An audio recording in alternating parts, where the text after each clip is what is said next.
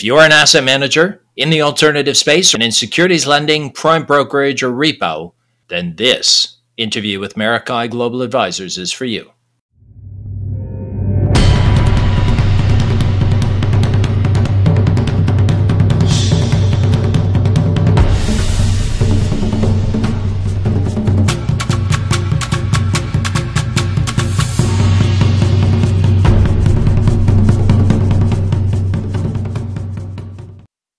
Hello and welcome to season three, episode two of Pierpoint Perspectives, the art of securities finance. I'm your host, Roy Zimmerhansl, and practice lead at Pierpoint. This series is focused on technology and our business. And in this case, less disruption and more fluid integration with clients. So it's an interesting approach. And I invite you to stay to the end where I put down, I don't know, a challenge or an invitation to the securities finance community. So uh, stick with it and uh, hopefully listen to my summary of the show. And without any further ado, I'll start the podcast now with Ben Arnold, founding partner and CEO at Meraki Global Advisors, and Michael Ashby, managing director. Hello, guys. Uh, thank you very much for joining us. I'm really excited about this because, frankly, I've never actually interviewed anyone uh, that covers the part of the, the industry that you guys do. So uh, I'm really excited about learning more about it. So, uh, so Ben and Michael, thanks very much for joining me. Uh, maybe we can just start by uh, saying hello and introducing yourself and a little bit about your own backgrounds. yeah, thanks for having us, Roy. Uh, my name's Ben Arnold. I'm the uh, founding partner and CEO of Meraki Global Advisors. And uh, prior to Meraki, I spent uh, last 10 plus years, maybe 15, can't recall, um, uh, working at hedge funds and at other broker dealers, including Goldman Sachs, primarily in Asia. Um, and I was mostly focused on block transactions as well as equity and equity derivative sales trading. Thanks, Ed. Michael? Yeah, sure. Hi, everybody. My name is Michael Ashby, and I am the um, head of strategy and business development for Meraki. I'm based in New York City. Um, prior to uh, this seat, I was operating partner at a fund in London, uh, where I focused on uh, helping run a global long short fund. And then before that, was based in Switzerland for a large um, family office. I'm excited to be on the podcast. Great. Well, look, uh, I think this is truly a global coverage now because I think between us, uh, we've served everywhere in the world. Uh, maybe tell us a little bit about Meraki. So, so what's the background to it, and and what led you, I guess, then to um, starting it off? Um, yeah, great question. So, quickly, I guess an intro about us is um, so we were Meraki Global Advisors was founded in 2019, um, and you know, people always question this, but I founded it with the rebellious determination to deliver conflict free services to the asset management industry. Um, I had seen in the in the outsourcing industry, in particular in trading, that there were various various things under the hood uh, that fell under the umbrella term of outsourced trading, and that kind of propelled me to, to, to start something and, and do it differently.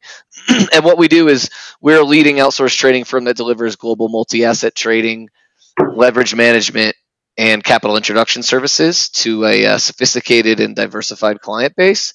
Uh, mostly that's hedge funds, family offices, traditional asset managers, uh, could be corporates, and even uh, private equity firms from time to time. Um, our headquarters is here in Park City, Utah, uh, and we have office in New York and Hong Kong. Um, so we're global in nature. Great. And so was this was the background to it that uh, you just thought that there was a gap in the market, or did customers sort of express concerns to you, or saying, "Gee, I wish there was something like this," or or how did it come? So about? I was actually working in uh, Goldman Sachs in Hong Kong and noticed, you know, sales traders were being asked to do more.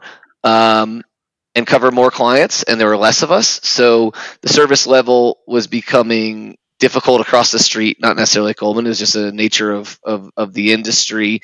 And also buy sides was also cutting, you know, wallets that they were paying to the street as well. So it's kind of like a, a circle that ends up happening together. I eventually left because I saw a, a niche need for outsourced trading and I worked at a, a different outsourced trading firm. And there I kind of honed in a different group of clients that were larger in nature. So call it on average around billion dollar hedge funds that traded globally. Um, but also, we're in need of a more sophisticated trading desk and not just outsourcing in terms of a pure execution, but completely outsourcing all of their trading functions, um, but in a way that still suits them given their size of their fund. Um, and we can get into that later, but you know, all funds have different needs, whether it's resources from the street and a lot of how your trading is done in your in your wallet and how you deploy that changes a little bit of your dynamic around your trading uh, your trading desk and, and trading needs and traders and systems. Yeah, and that, you know, I was talking to, uh, or I gave a speech earlier this uh, today, in fact, um, talking about sort of the various changes in terms of forms, in terms of downsizing at the same time that uh, you know, the regulatory requirements are increasing, technology costs are going up, uh, and customer expectations, your own customer expectations, uh, are going up. And so it's really these convergence of events when there's just less sort of extra capacity in firms to to look at that. And and is it is it a question of sort of improving capability, or is it a question of focusing on uh, sort of your own sort of centers of excellence? Like what what kind of drives people to consider outsourcing? Yeah, so I think it's um it's always different. Um, it's always different for every manager and every fund that we speak with and every client we have. Um, you know, it could be a cost cutting exercise. Um, it could be a entry into a new a new product or a new asset class or a different region or regional coverage. Most funds have gone more global in nature, as well as not primarily trading equities. They are trading multi asset classes. And every time you add a new component to the strategy that you're running, the complexities increase. Uh, market structures are very different. So it is very difficult to find one person that can cover every single product that you want to trade, as well as be an expert in every single region. Mm-hmm. Um, you know, there's not a lot of multi-asset traders that also have global experience uh, in the world, surprisingly. But you know, being able to provide that and being, you're going to end up needing at least one person, like without a doubt, but most likely three, because it's impossible for one trader to cover 24 hours and very unlikely they can be an expert in every product in every asset class. So that's one of the things we've seen. We've also seen, you know, a lot of people don't like to have another person that they need to manage. So maybe they just they don't want to have as many people that they need to manage, or they want to leverage some of our sophisticated technology. Um, all in all, everyone has really a different need, um, but I think those are generally what cover it. Um, and they find that you know a lot of times their biggest headache has been the trading desk function. So finding a solution that streamlines and makes it simpler for them mm-hmm. without interfering with their the rest of their front to back operations is really what I think they're always searching for, regardless of how they find it. Right, and so it's really kind of uh, people trying to focus on on what they know best and and the things that they don't want to deal with. They're looking to exactly. Outsource. I mean, I feel the same way. It's like focus on what you do best because that's going to move the needle the most. Hire someone or outsource something to someone who knows it, to knows those things that you don't have time to focus on, but hire the best people for it. Um, and, and, I think that that is true in all you know all as, aspects of business. You know, it could be outsourcing operations, it could be treasury. Everyone's been out. You know, people have been outsourcing research services forever um, to independent uh, research providers in you know more niche frontier emerging markets as well. So it's really no different um, than a theme that we've seen over the past ten years happening. Yeah, that's a really good point. I hadn't thought about that. You know, uh, to me, I don't really think about you know research as being outsourced, but effectively, that that's exactly what it is if you're not doing it yourselves. And but tell me about uh, outsourcing specifically in the trading space because you know, it's been a trend for a few years, but it's, you know, it doesn't have, as far as I'm aware, sort of a, a 10 or 20 year history, or, or am I wrong? So it has been around for a while, but it's had, I guess, uh, a very niche and sort of uh, narrow focus. And that's primarily been US equities with maybe futures. Um, and so I had to, when my last um, role, I was looking for an outsourced trading firm. I really struggled to find somebody that could do even 70% of what we wanted somebody to be able to do. I think what's happened in the last five years is that people have realized, okay, there is actually something here, and we should be able to provide it. Majority of folks that are doing OSS trading still it walk, talks, and acts like a sell side function still. So it's sort of like a high touch sales trading desk just moved over and renamed itself. There's very few firms that can trade cross product and provide more of a what traditionally seems a buy side function. So helping with risk and hedging and all those types of functions. So I say, you know, Ben really came up with the, the first pure play uh, two two years ago that looks like a, a real buy side research function. What's been around before was more sell side plus. Right, and so when you when you laid out this uh, this idea for it, what were the sort of key challenges before you thought, yeah, we're ready to do this? Like, how did you actually construct it? Was it was it people? Was it technology? Did you have to create new things, or was it plugging things in in a different way that already existed? A lot of us on the sell on the, that have worked on the sell side or been traders, you think that that's kind of your only skill set. Of I'm a trader.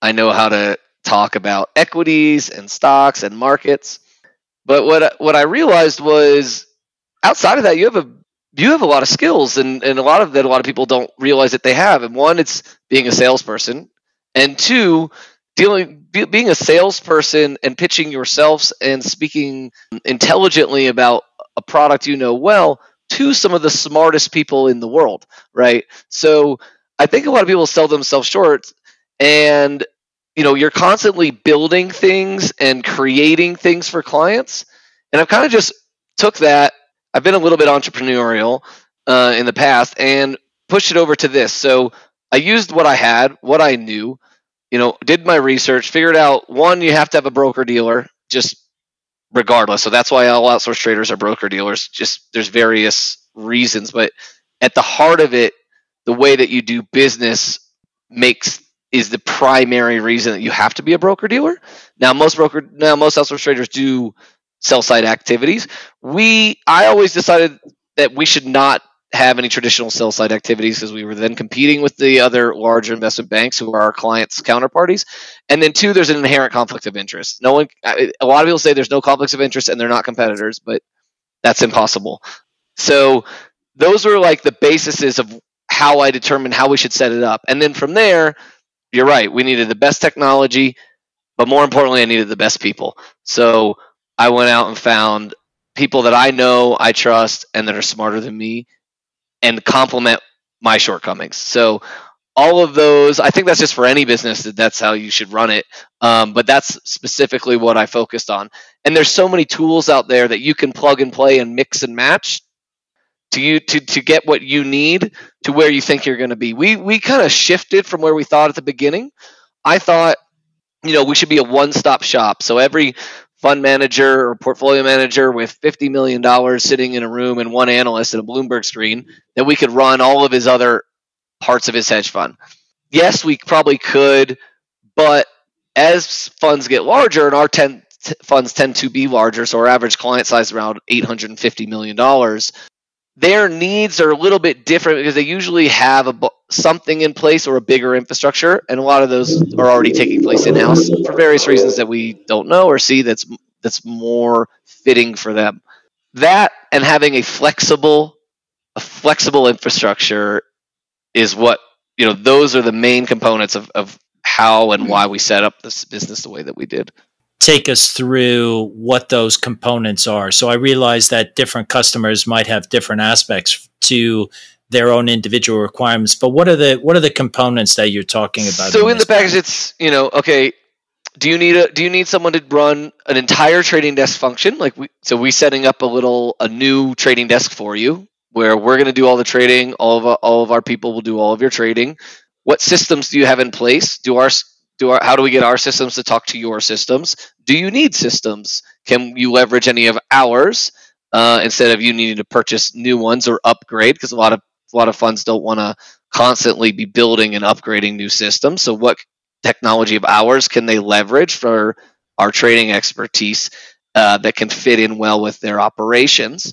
And then two, Eh, if it's not the full trading desk, then it's supplemental. So we're helping with a region like Asia, Europe during their non-time zones, or maybe it's someone in Hong Kong that wants to trade U.S. Chinese ADRs, and then it comes down to product. We want to trade exotic FX options, or we want to trade credit and fixed income. Those are very specialized things. We trade high yield debt.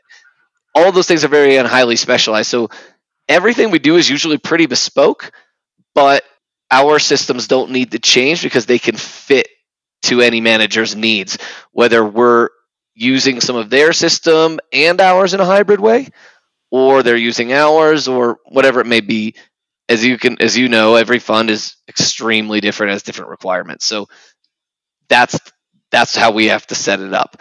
And then, but at the end of the day, there's one constant, and that constant is that every time we execute for our clients, it has to be with a counterparty that our clients have accounts at. So we are only limited by the client's selected broker list, which is typically picked by them on the basis of the value add or the services that they receive from that broker. At this, at, you know, at this point, then in aggregate across all of our clients, we execute with over 50 counterparties across the world in all asset classes. But we're not limited by those 50. If a new client comes and says, "I have these 10 Norwegian brokers I want to execute with," okay, great, we can get that set up, no problem. And that includes all their prime brokers. So we have a lot of interaction with many brokers and very closely tied with their prime brokers like Goldman Sachs, Morgan Stanley, JP Morgan, UBS, Citi, all of all of the above. We are limited by what the client can do and can trade and is set up to do, but sky's the limit for what after that. If they want something to be set up, then we can do it for them. So have you ever off the back of that, have you ever had a customer come to you and say, "Look, we'd really we want to trade this product or be in this location," uh, and you look at it and you go, "Look, I don't have I don't have the right people yet. Give me a month to find." So, like, do, do you do you sort of recruit and acquire skills or technology or people off the back of that? Yes. So, recent example being, um, you know, so one we try to always have a good mix of traders, mostly multi-asset because at least from there they can trade a lot of products. So that saves us. We don't staff extra traders right? Because it's just staffing people to sit here. It's not it's not very appropriate. We also keep a, th- a you know a max three clients to one trader. So one trader covering three 500 plus million dollar hedge funds is about as most as, as much as they could handle capacity wise before dropping the ball and not providing a premium service. So we cap it at that I don't know what some of our competitors are, but I would like to say it's easily probably more like 10, 20, 30 uh, clients to a trader. And we're more ingrained in their process. So, yes, we will have to go out and find specialists in certain areas. So, we've gotten a lot more inquiries about fixed income and credit markets. So, we recently hired a head of fixed income and credit to join our team. And she came from a large asset manager uh, and previously worked on the sell side because we we've noticed that more and more equity, pure equity managers actually want to trade across the uh, across the capital structure, but just didn't have the necessary tools to do so. Um, so we're seeing a lot more inquiries in that space, and I, you know, felt we felt the need that we needed a highly specialized person to run that process. Um, so, Michael, I, I'm kind of curious.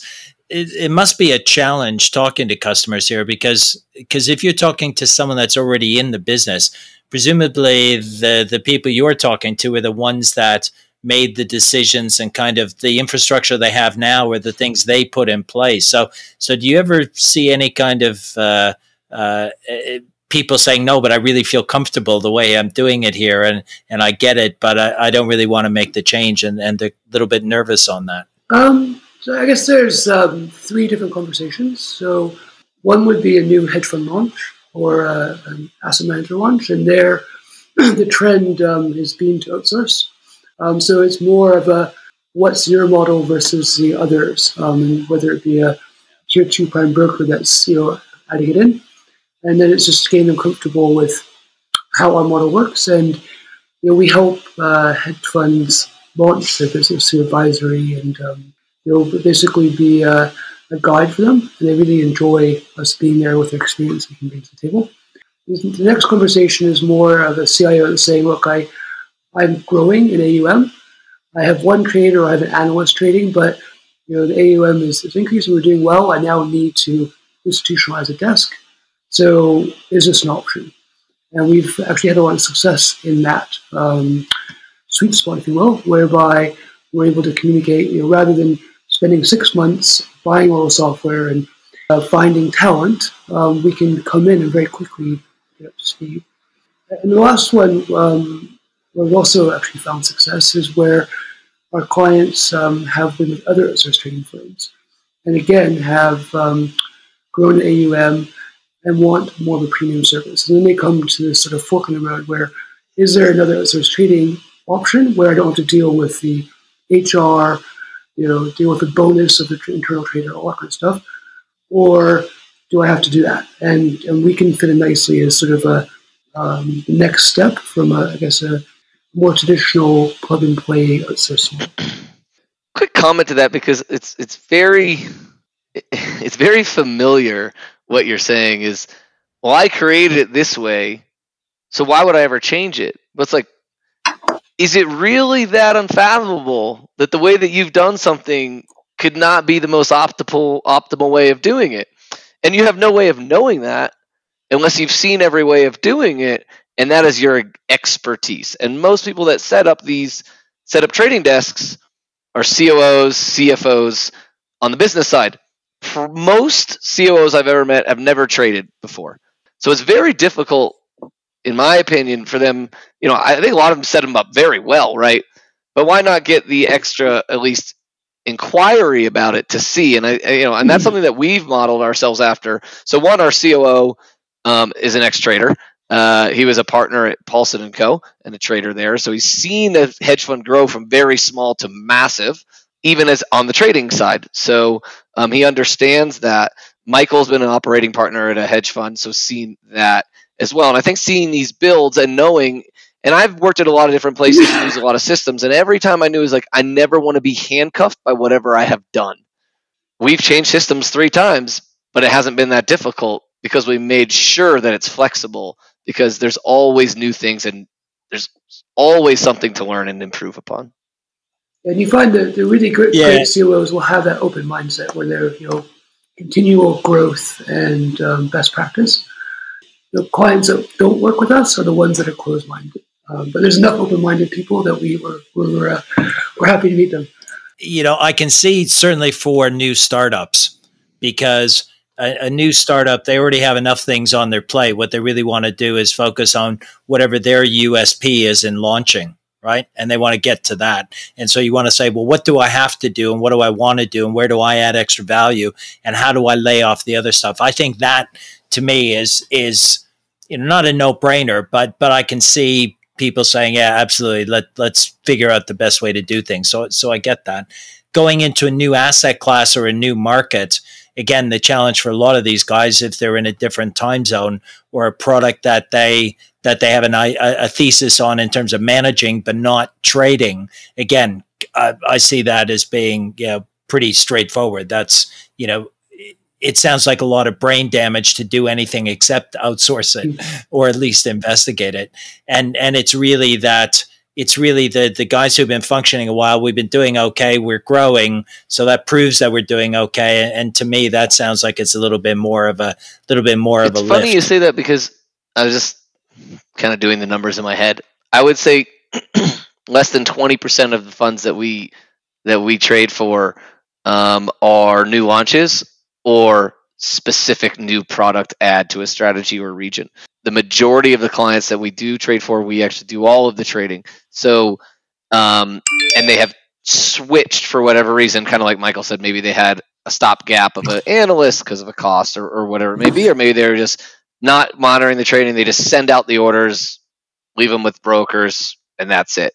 So I think over time, and there's a lot more due diligence going on, right? There's a it's a lot harder to raise capital. So if you're trying to raise if you're trying to raise assets, I think investors now have a lot more say and are a lot more honed in on what your infrastructure looks like in your business infrastructure and how is your business run, which is where most funds kind of put their trading. It's kind of like a hybrid between business and investment team. Most funds do consider it kind of a business cost though. So that that's pretty interesting. So do you think that's driven by competitive pressure, whether you're, you're talking about capital raising or or performance? Any any any views on that? Well, if you're not performing um, well, it's going to be uh, challenging either way. I think so. I think not performing well creates every challenge. If you if you perform well, you have less issues to worry about from outside looking in, inside out, etc. But I think Michael can probably speak a bit more specifically. Yeah. Yeah, no, look, I think there's a sort of feeling that if you're running a decent sized fund, having one person, the execution arm, is a little madness, especially with COVID. You need to have backup. And having the CFO who doesn't know trading as traditional backup is not ideal.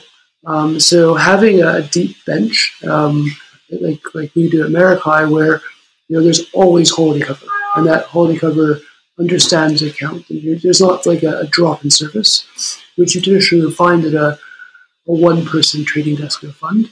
And I think that you know the idea of having a checks and balances has also become important. Having somebody that comes in that understands trading and is able to, to deal with it.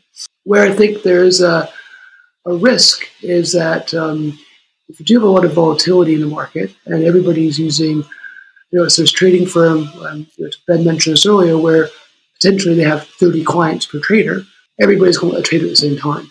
And then it actually, you know, adds more risk. And so that's why we've been very careful at Meraki to keep it at one to three, so that even if all three need it, it's fine. We can handle it. We can deal with it. And you know, we had a recent example where one client needed help and needed us to step in within 24 hours notice, and we were able to do it and and, um, and help them out. And so internally, we always keep a little bit of spare capacity, but our traders have the ability to, to really act as though they were an internal trader, um, but on sort of a variable model.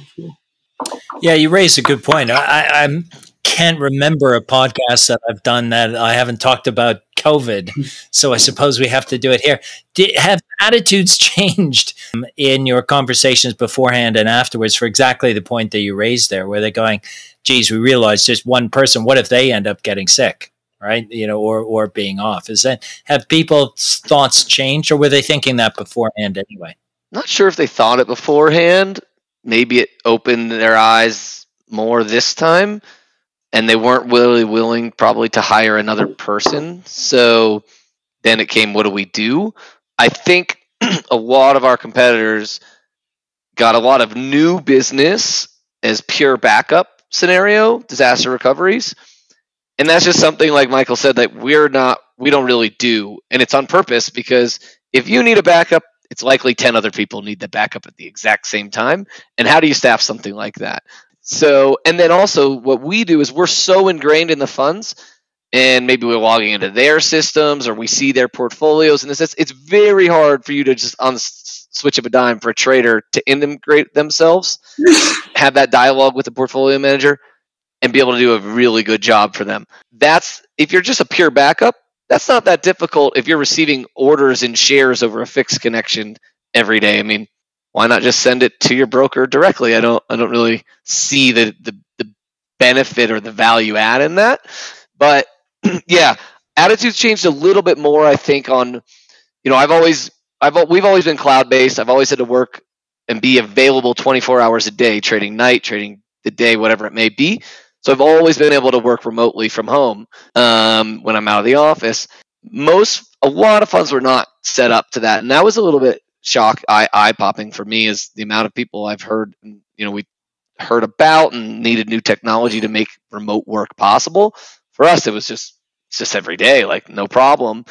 but then they became a lot more comfortable and like, oh, my trader doesn't actually need to be sitting right next to me for me to have a really good trading experience with my trading desk. And I think that mindset changed. I think the mindset was always probably there that they needed a backup scenario, but that just really pushed on the point of how much you really needed a backup scenario because people were out for two weeks at a time, just getting sick. I want to go into the actual process. Let's say, let's say I, I want to do? What do I actually have to do to get ready? But I do. One of the things I always wonder about when I hear about these outsourced trading operations, what's what about the communication and the flow of information between the trader and the PMs? Uh, you know, do they do they lose anything by not having it sort of in the same room or a few desks away? I mean, how how does how does that interplay work? Most of them are not in the same room uh, in general.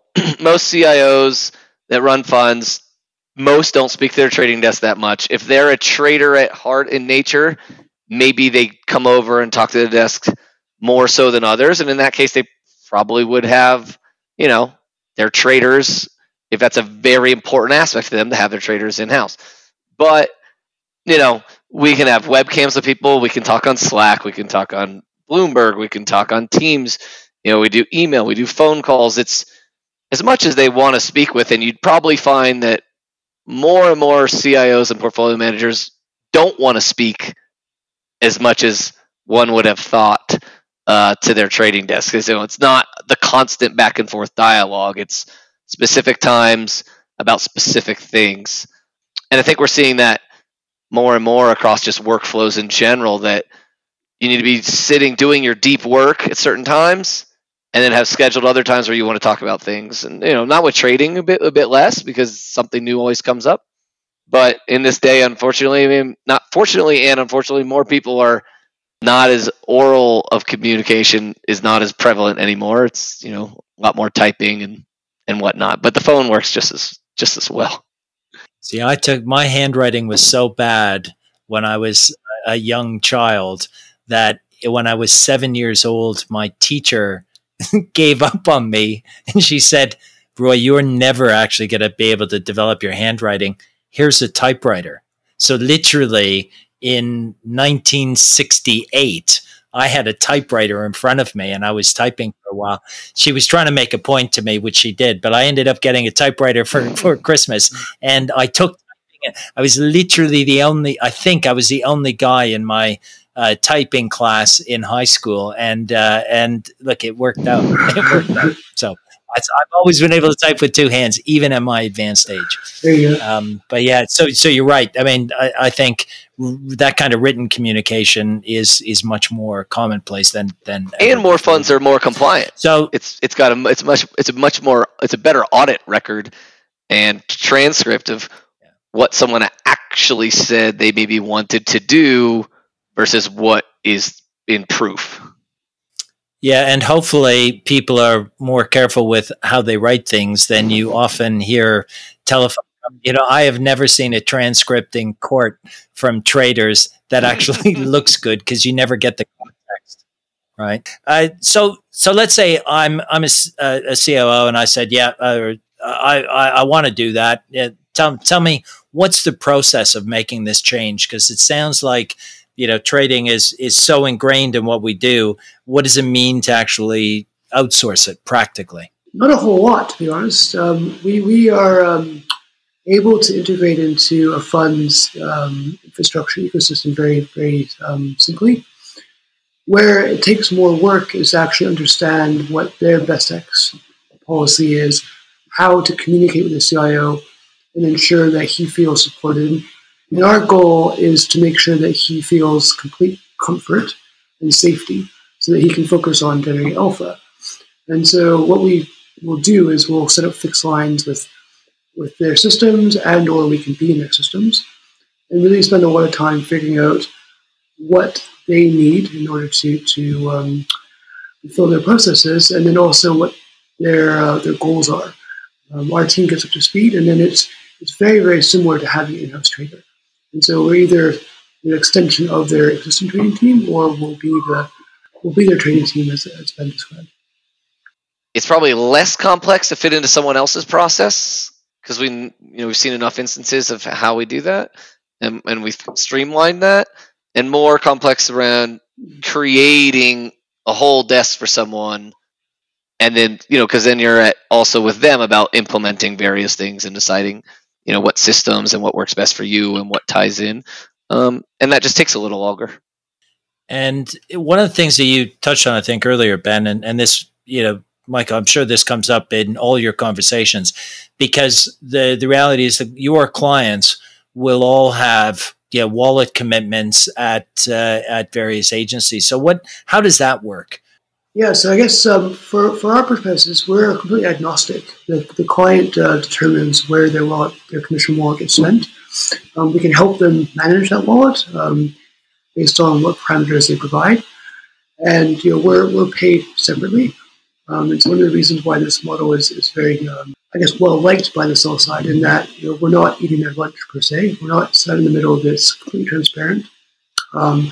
Um, the sell side knows that we only get paid by our clients for assist trading. There's no additional revenue streams to us, and so it's, it's very uh, very clean. But let's uh, say, as an example, client has three brokers and they want to pay each one equally. Um, we will ensure that happens, and so that all the brokers are made happy. The clients, uh, clients good. The only time that we'll get involved in in broker conversations if the client says, "Okay, I want to enter into trading in, in Denmark or Bangladesh or, or a new market," can you suggest a couple of brokers that you think might work? And then we'll go out and try to find them a couple of options and then let them do due diligence. But that's the extent of our sort of involvement in the actual.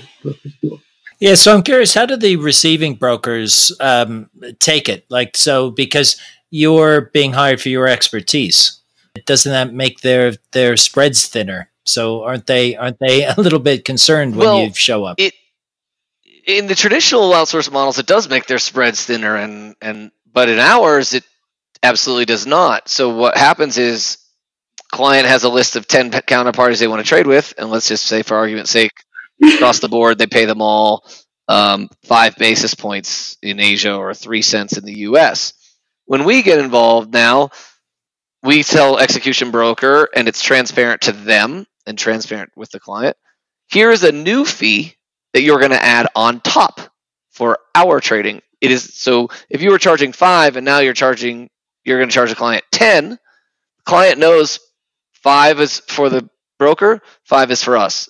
We're not saying, okay, now it's going to be five total and broker, you're two and we're three. Well, our service is different and, and we're very, you know, firm on that, that we don't want to be seen as it because that you know the brokers are providing completely separate service to what you, an in-house trader Yeah. provides and that's how we want to be viewed. Sometimes they i think if they're not used to our way of doing business at first you're right that's probably what they think and then they're like oh i don't you know i'm not going to have as close of a contact with the client. But soon they figure out that it's the exact same thing. We are basically the exact same thing as a client if you ask them something about trading they'll deflect it to us to, to ask us and we'll behave ourselves in a manner and speak and represent our clients just as if we are a part of their team. Then they have a few less touch points. Professional traders that is easier for a sell side trader to deal with than maybe a not so professional buy side trader. Yes, very, very delicately put. So, look, this sounds, sounds fantastic. Surely there's got to be some kind of hurdle or challenge, or why doesn't everyone do it? Yeah, look, I think people until they understand it, maybe they don't want to look at it. They think there may be conflicts of interest, or you know, a lot of the same things you said. Like, well, you're taking a spread, so maybe the, you know you're you're hurting the sell side, so instantly maybe that's why. And you know, I think in our model in particular, after we explain it, it's a lot clearer and a lot cleaner. But I think they need to do their due diligence on it, and maybe they have a great internal trader, internal buy side trader that can't be replaced, and that definitely is the case. You know, we have a all everyone here has been a buy side trader, and they're all great traders. Um, you know, so you know maybe the fund needs that main trader, and they're okay having him train a junior trader to get them up to speed because that makes the most sense for for them. Uh, One of our hurdles, I guess we could say, is as opposed to some of our competitors that are offering outsourced trading under under their PB service, they can't just come to us and not have to set up any other brokers or do anything. They just have one document with or multiple documents with one, you know, counterparty, and they'll take care of everything for them. Trading, PB service, execution, etc. So sometimes, I guess, newer managers may not see us as able to be a one-stop shop, but that is true. We don't offer, you know, prime brokerage services. Like, No, I was going to say, um, just on that note, and um, we've actually created a lot of soft partners with, um, or partnerships, excuse me, with uh, other fintechs.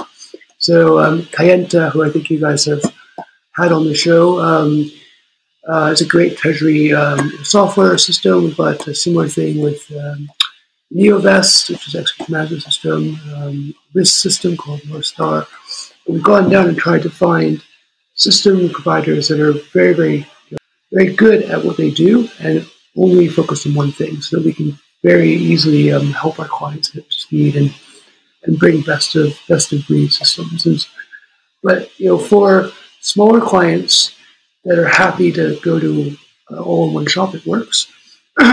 As they grow, that model tends to break down because those all-in-one shops are quasi-competitors to other brokers. And if those funds want to source liquidity and they do it through a broker, you know, broker broker liquidity is different than fund to broker liquidity. And so then you get treated like a broker, and not as a fund. And that's where, you know, as mentioned earlier, that's a fork in the road where clients are like, well, I'm big enough now that I need to have the cavitas of my fund name and my wallet so I can access this uh, unique pools of liquidity. And that's where we can step in and help them. Um, are, there, are there other models or? Yeah, they can have a hybrid. A hybrid, maybe a main trader who does their primary U.S. markets and then outsource it to us to do Asia and Europe because obviously it's very difficult one to trade 24 hours and two if you aren't local or traded local or been in those markets especially in asia there's so many nuances and so many pitfalls that it's very dangerous to not have a very seasoned person understanding those markets. So sometimes that's a you know i call it kind of like a hybrid like a hybrid version. You can trade you can trade late into the night. You can trade you, you can have traders in any location trading but it is about the experience level in, in those markets yeah right? i mean that, I, I, think, think you know you can you know they say like before we had a hong kong office opening they said some you know i've been asked before but you don't have presence in hong kong. And i said well look maybe i don't right now. Capable of trading it from here but i've spent the majority of my career in asia so compared to someone who hasn't you know i, I would i would argue that we still have that expertise down from actually living and breathing it there versus maybe not sitting there at this point. Um, and then that may come down to like products. So we're you know we're now in we're now having a lot of conversations and and partnered you know partnered with um, you know CrossTowers, you know, a uh, strategic partner with CrossTower, who's a multi-asset institutional trading platform and and capital markets desk for digital assets. So we're starting with crypto, so cryptocurrency. So it's hard to be an expert at everything. So yeah, so maybe it's hey, can you help us with fixed income trading because our current trader is great at equities, but we really want someone with some relationships in the fixed income in the fixed income world. Do you see this trend? Sort of carrying on? Um, uh, do you think this will become really a core of, of what everyone does, or what what are your thoughts on on outsourcing in in general? I think it's um, akin to sort of back in the day where all funds had servers, and you know the idea of moving to the cloud was like no no no, we got our data internally, and now you know doing that is nuts, right? Because it's you know you need the cloud to protect you. Um, I think it's similar where you know folks will have a hybrid model. You'll have a senior head of trading who will either be a head of risk or a head of relationship management, and will will be um, a business manager and a risk manager, as well as sort of infrastructure and systems. But then he'll have the ability to do it. I also see outsourced trading moving into different uh, verticals within uh, the financial ecosystem. So, it's wealth management, RA. We see that in insurance companies, there's a lot of um, folks that are doing things and doing it suboptimally because they don't think there's another option. And so you could have a, a large institution that wants a pension that wants to trade a lot of bonds and they just don't know how. And so I think as this model develops and more and more people enter the space, um, it's not a crowded space because there's so much room to grow. Um, it's actually, I think it's a positive that we're getting more entrants and then it just sort of blossoming. the the alternative funds are the the ones most likely to be able to adapt it because they kind of run their own show and make their own decisions. So it's it's easier for them to do that, and maybe they appreciate the value of trading and and upping the game on trading.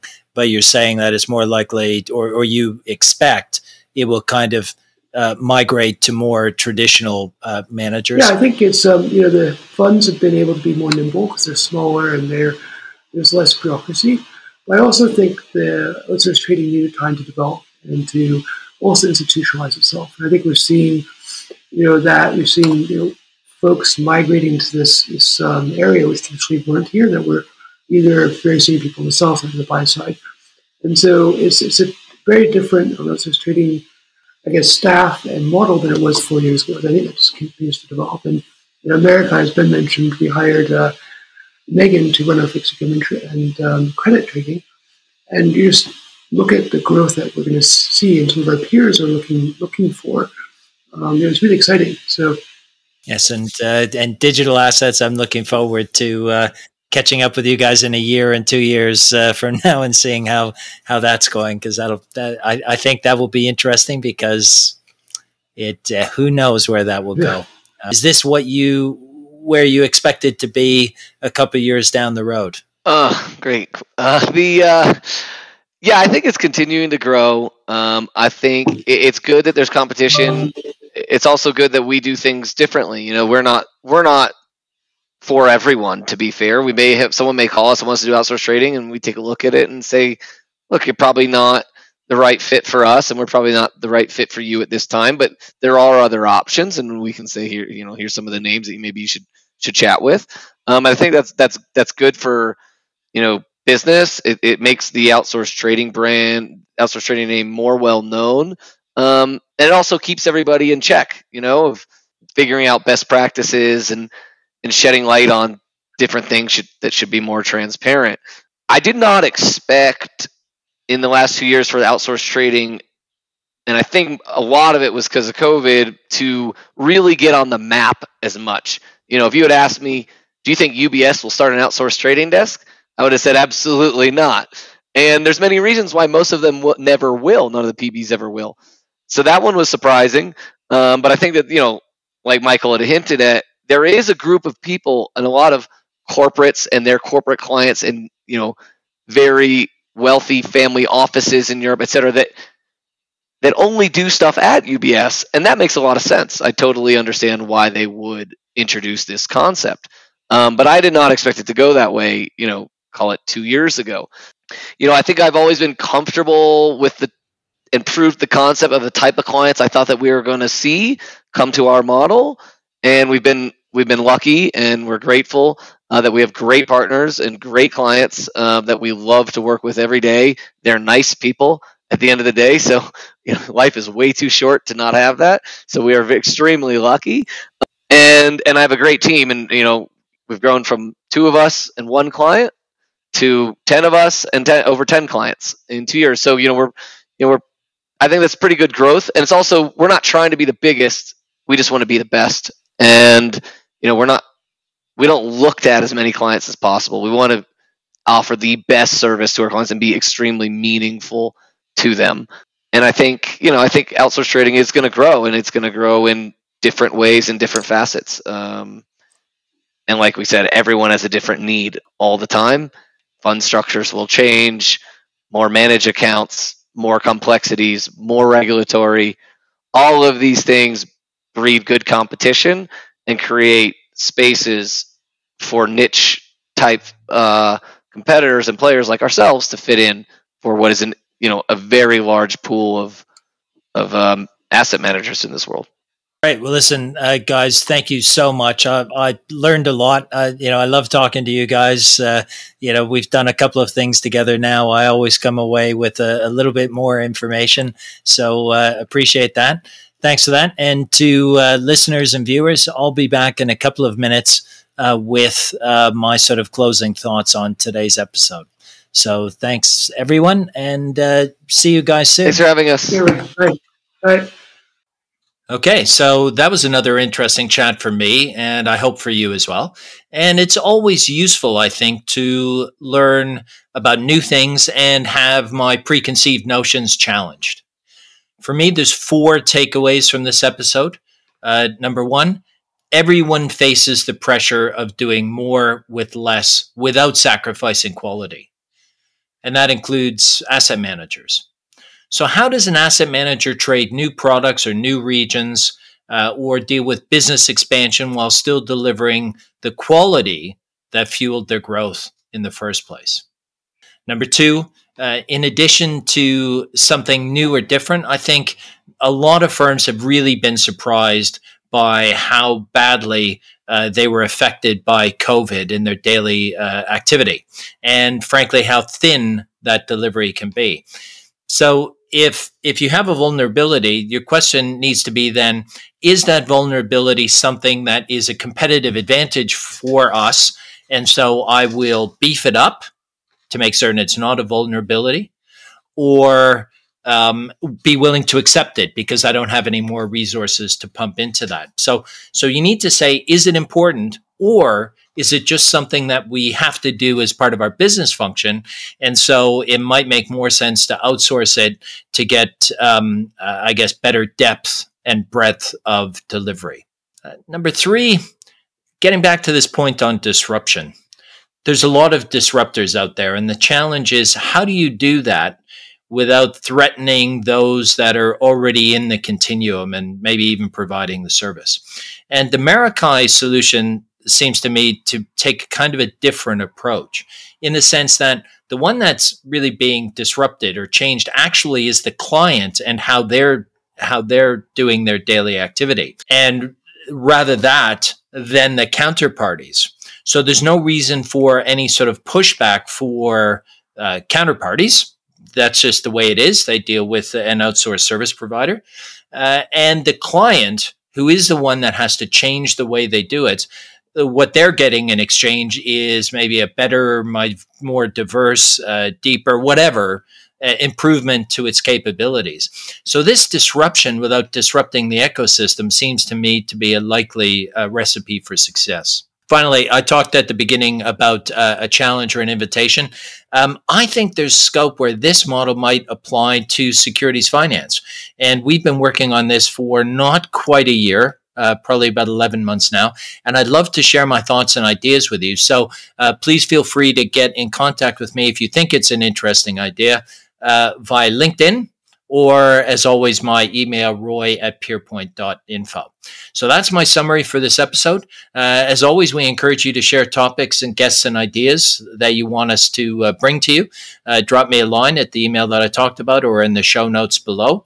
Um, or if you're uh, watching this on on the video cast because we now do a video cast version of all these podcasts, you can leave uh, suggestions in the comments below, and we of course uh, always respond. Uh, there'll be links for Ben and Michael in the show notes. Um, and finally, the free securities finance content, which I mentioned earlier and keep talking about, is available at our website. Uh, we're active on LinkedIn and Facebook. Uh, so hopefully we'll see you there. And that's it for me. I'm Roy Zimmerhansl. This has been Pierpoint Perspectives, the art of securities finance, and I look forward to catching you next time.